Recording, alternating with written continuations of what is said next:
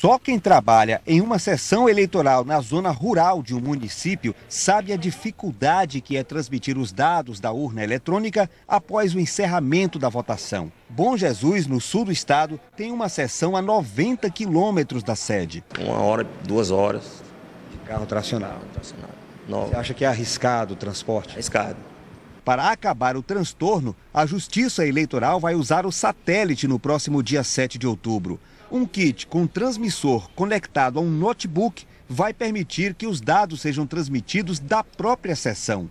Pessoal que vai trabalhar nas 55 zonas eleitorais que nas últimas eleições apresentaram atrasos na transmissão dos dados foi treinado para usar o equipamento. Após a sintonização do satélite, basta conectar um cabo ao notebook que vai receber os cartões de memória das urnas. A transmissão é automática.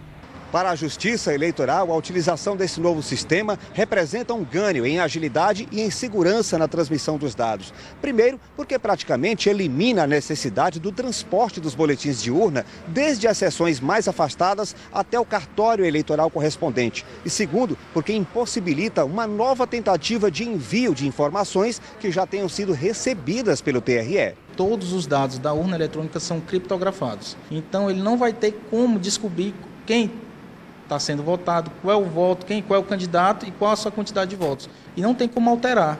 Por quê? Porque se algum dado é alterado, a, a Justiça Eleitoral tem mecanismos para identificar aquela alteração. Estiver seguro, porque os resultados, logo que acaba a eleição, a gente já pode estar transmitindo. Fica tranquila logo. Tranquila logo, acaba logo para ir para casa.